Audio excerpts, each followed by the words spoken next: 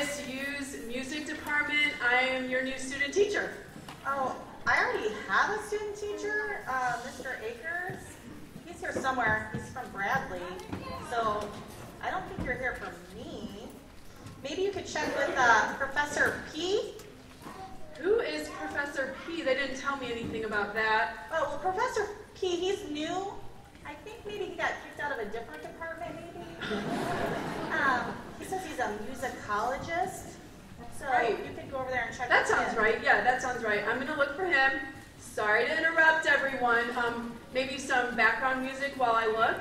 Yeah, I think we'll go ahead with our concert that we're doing and play Grieg's in the Hall of the Mountain King.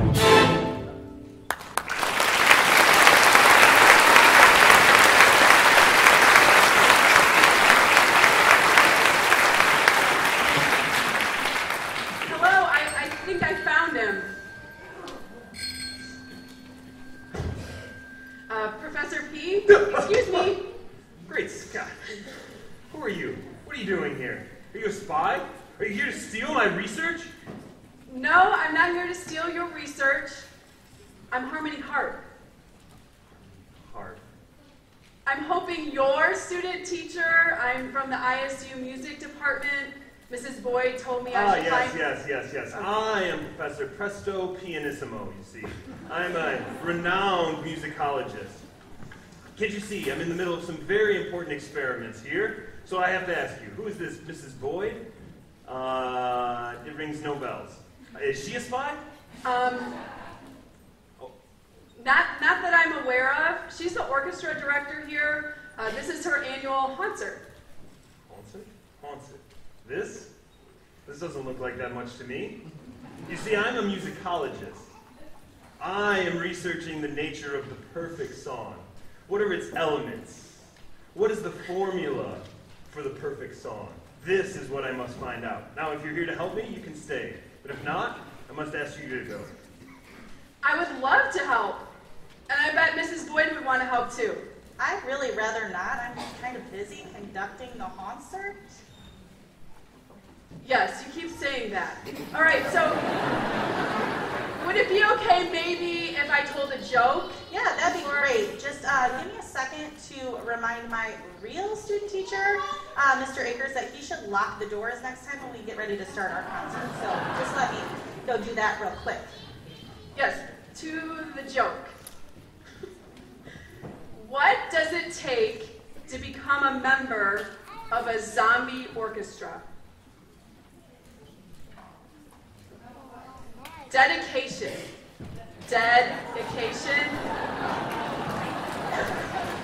Okay, since that one went over so well, maybe one more. Why did the zombie comedian get booted off the stage?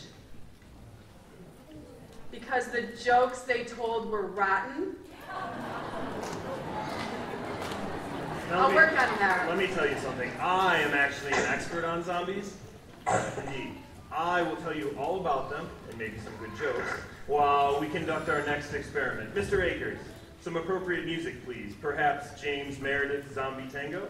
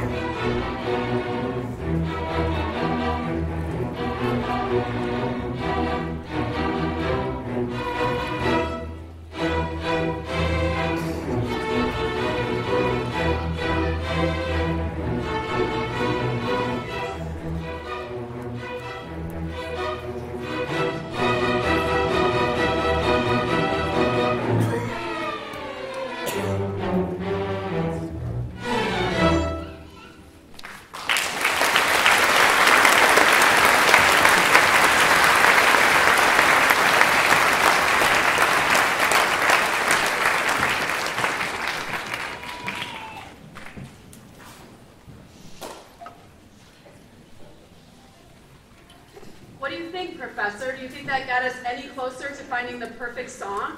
A bit closer, a bit closer. You see, in science, each failed experiment gets us closer to the real answer. Well, that makes sense. Professor, before we go any further, I do have to ask you about these experiments.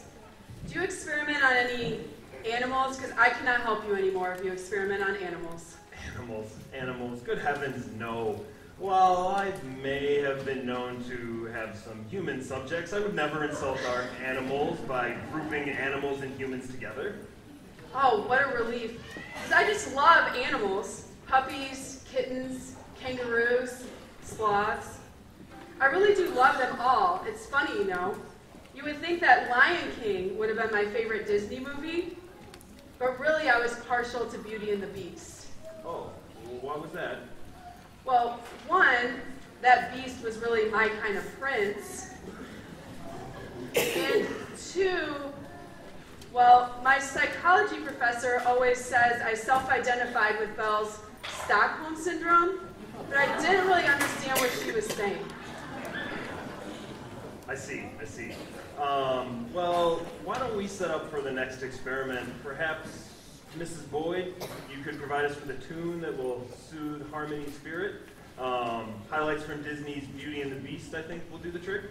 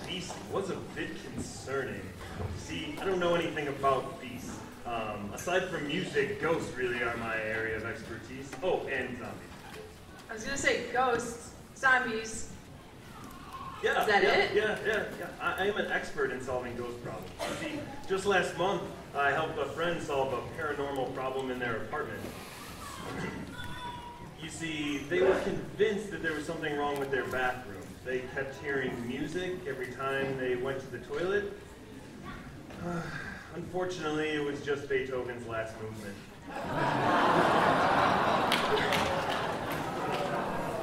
My goodness, that's very clever of you.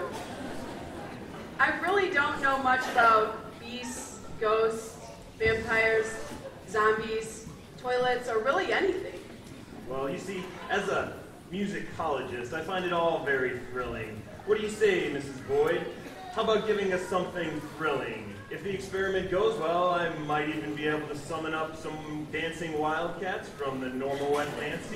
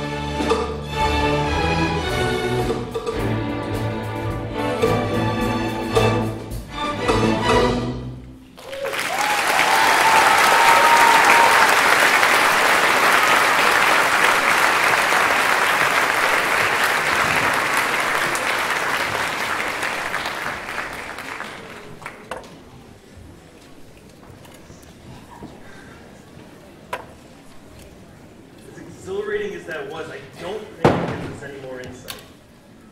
Beginning to get frustrated. There must be a formula. There must! I don't understand, Professor. Why do you think there must be this perfect formula for a song? Because it's the only way to explain the inexplicable. If there's no formula, how can you explain music today? What do you mean? I mean, if there's no formula, how do you explain the popularity of artists like Taylor Swift and One Direction? Well, I mean, I think it's kind of catchy, you know, like, look what you made me do. That's what you made me do. No, no, no, no, no, no, no, no. I mean, I totally sing along when I hear that song, don't you? Um, no. And if I did, I would not admit it in front of company. But you might be onto something there about this catchiness. I also heard that children who attend concerts can catch the desire to play instruments. Mrs. Boyd, could we invite the fourth graders up here? Definitely, tell them what to do. All right, I will. Any students who are currently in fourth grade are enjoyed, in, invited to join us up on the stage for this portion of the concert. We'll play something catchy as soon as you guys are in place. So come on up here. Come on. Any fourth grade students?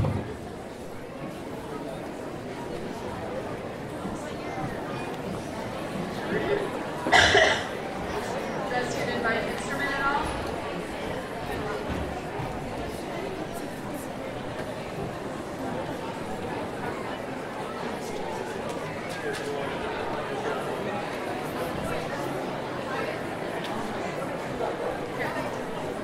Here. Here, sit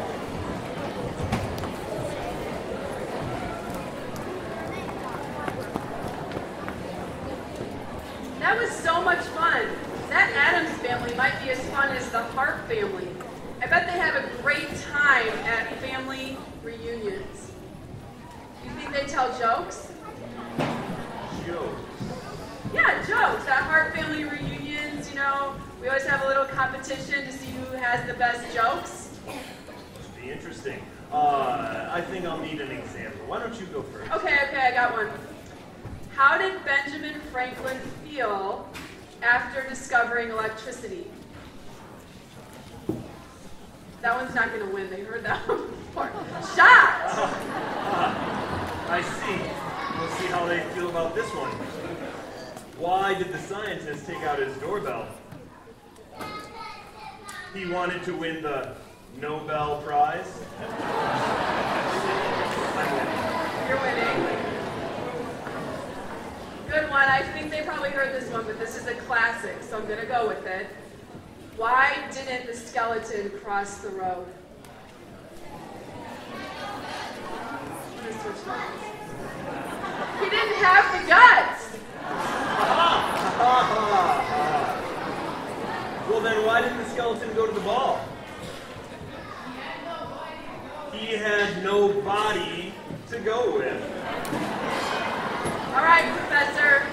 Three out of the four they knew, but the one that you had they didn't know, so I think you win. Well, it's not fair. You see, through my experiments, I figured out the formula for a per- perfect joke years ago, so you didn't really stand a chance. You know, one of my favorite songs and the perfect Halloween song, in my opinion, is the Monster Mash. I know. I think if we get enough applause, we can get another student teacher, much like myself, up here, Mr. Blake Miller from Illinois Wesleyan, to sing this one.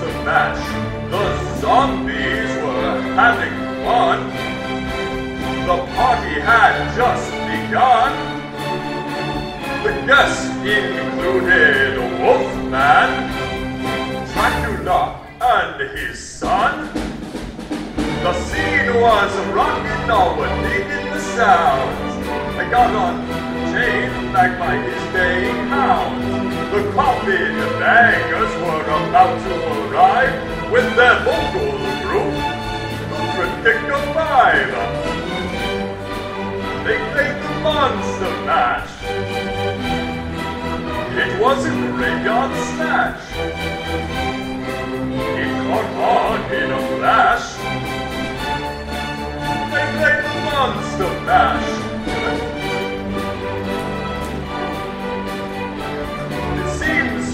Troubled by just one thing. Opened the lid and shook his fist and said, Whatever happened to my Transylvania twist? It's now the Monster Mash. And it's a graveyard smash. It caught on in a flash.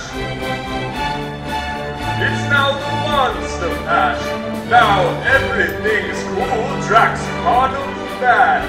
And my Monster Mash is the hit of the land. For you, the living, this mash was meant true. When you get to my door, tell them Boris sent you. Then you can Monster Mash and do my graveyard smash. Catch on in a flash. Then you can monster mash.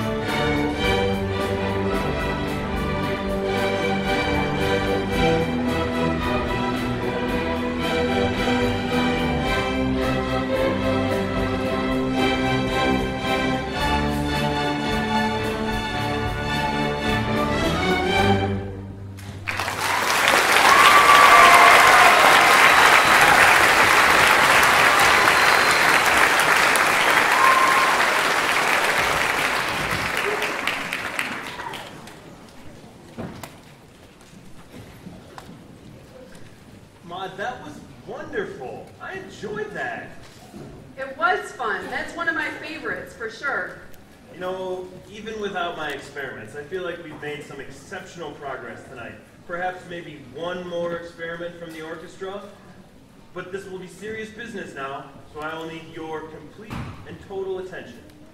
If that's the case, then I think we need a very serious song. Something that captures the gravity and drama of the moment. Oh, I know it. I know it. I know the perfect piece. It's delightfully tragic. The rhythmic beating of the drums, it brings a mind to mind a well-known poem. Edgar Allan Poe's The Telltale Heart.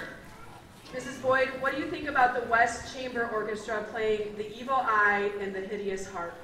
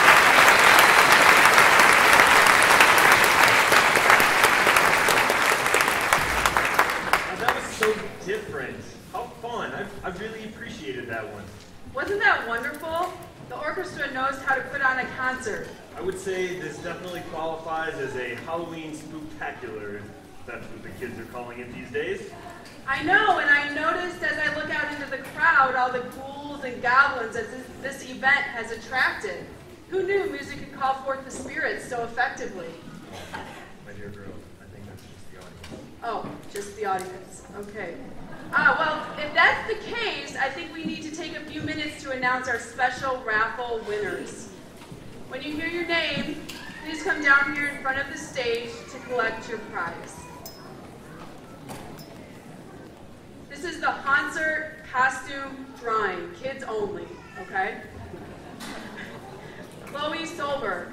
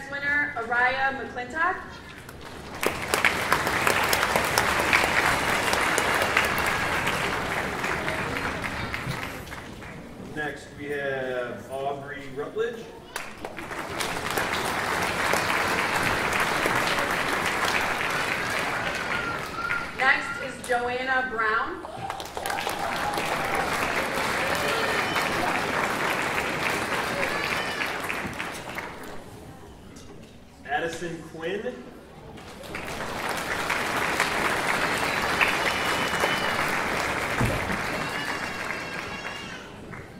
Professor, since I'm just a student teacher, maybe you could help me with this one. Of course, I'd be happy to. I'm an expert in everything, you know. uh, Murette Cunningham. Oh, yay!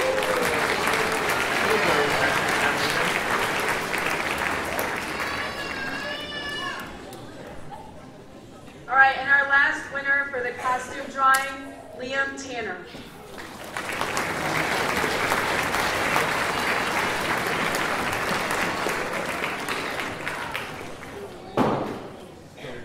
You can pick whoever you think has the best costume.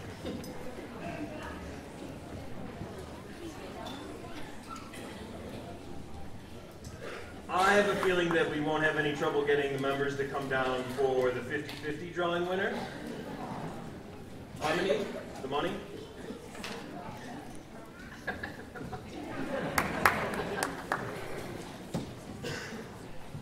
Mrs. Boyd, did we buy a new violin? Um, new beakers? Oh, no, I'm sorry. Here it is. It's right here. But the look on your pa- uh, panic on your face. You never know around here. This $98 goes to the person with ticket number 46327723. Yeah!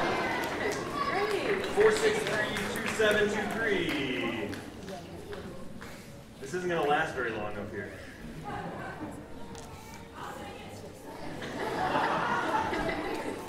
That'd be the top.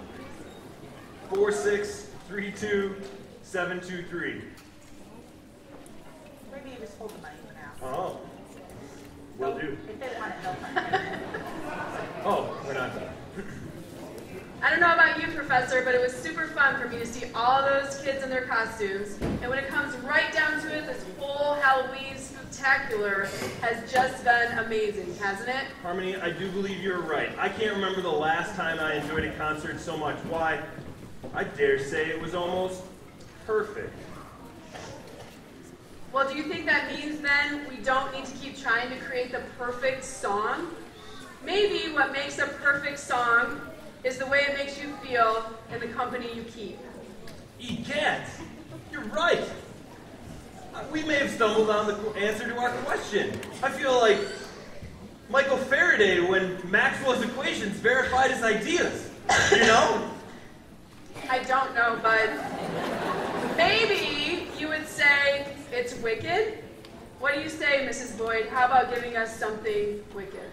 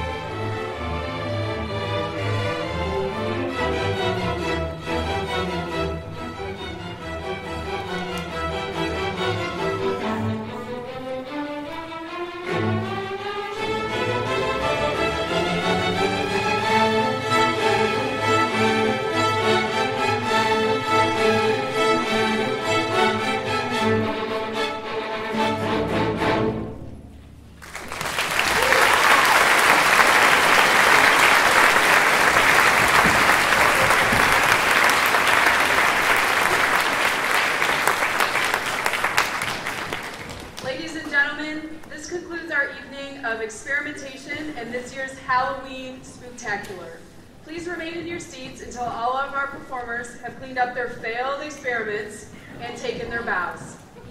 Also, please remember to check the area around you in case you've left in any microscopes or beakers or safety goggles. Also, please uh, account for all of your children as any left behind can become part of my future experiments. The professor and I believe in supporting the arts, but the psychology experiments that I was involved in, remember? I have to participate in for college credit. They don't pay very well. And professor is a musicology teacher after all. So if you'd like to make a donation to help defray the cost of tonight's performance, orchestra students from Parkside and Kingsley Junior High will be posted at the exits. Thank you, and good night.